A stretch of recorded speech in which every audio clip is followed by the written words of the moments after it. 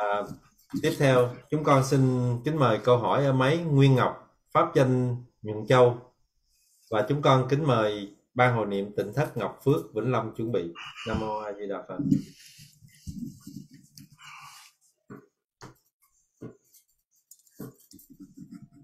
Dạ được rồi chị. Dạ, Nam Mô A Di Đà Phật. Con xin kính chào Thiền Đức Tăng Ni, con xin kính chào lão cư sĩ Duyệt Âm và các uh, à, ban tổ chức trên đường Trung Mô Niệm Thế Giới. Um, con uh, có một câu hỏi để hỏi cho bạn đồng tu của con đang có mặt trên room. Um, mong lão cư sĩ dự Âm dẫn giải thêm và cho bạn con được rõ.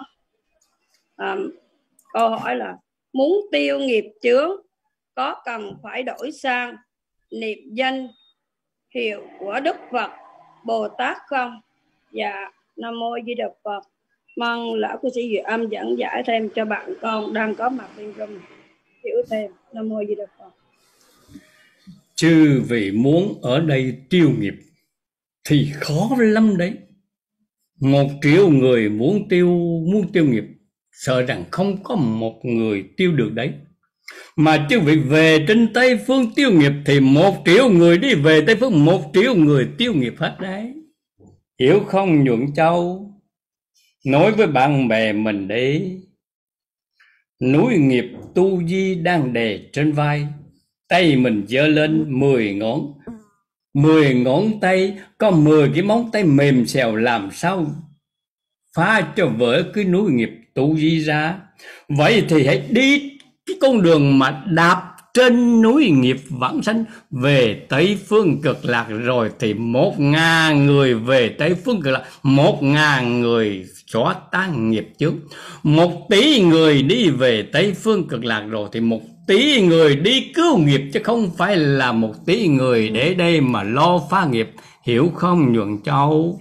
Khuyên người bạn bè của mình đi. Đi con đường phá nghiệp chỉ dành cho những vị đại bồ tát làm còn mình phàm phu thì đi con đường đới nghiệp. Vãng sanh, giống như một người vác rìu chui vào rừng để phá. Rừng lấp suối giờ non để mở đường mà đi. Sao bằng một người lên chiếc máy bay bay qua bờ kia? Sướng hơn chứ? Đã đi trong núi thì làm sao lên được máy bay? Đã lên máy bay rồi thì cớ chi mở cửa nhảy xuống mà phá núi, phá rừng dưới này, làm sao sống nổi? Hiểu không? Đường nào phải đi một đường nhé nhuận châu khuyên người bạn mình nói, nghe lời phật dạy đi, nương theo pháp Niệm A-di-đà Phật cầu sanh Tây Phương cực lạc. Mười niệm mà không được vãng sanh Phật Thề không thành Phật. Hỏi rằng có người Phật nào mà bị núi nghiệp đè trên mình đâu? Chỉ có những người quyết lòng ở đây để chịu nghiệp đề thì mới đề Chứ còn đi làm Phật là đi làm người có năng lực đi khắp nơi cứu những người bị nghiệp chướng khảo đạo nghiệp chướng hành hạ, tức là mình đi con đường cứu nghiệp cho chúng sanh để chúng sanh tốt nạn. Hay hơn là tự mình băng vào rừng sâu phá nghiệp. Phải không nhượng châu, khuyên người bạn của mình mau mau thức tỉnh đi để kịp thời vãng sanh thành đạo. A di đà phật. Nam mô A Di Đà Phật. Chúng con thành tâm tri ân lão cư sĩ.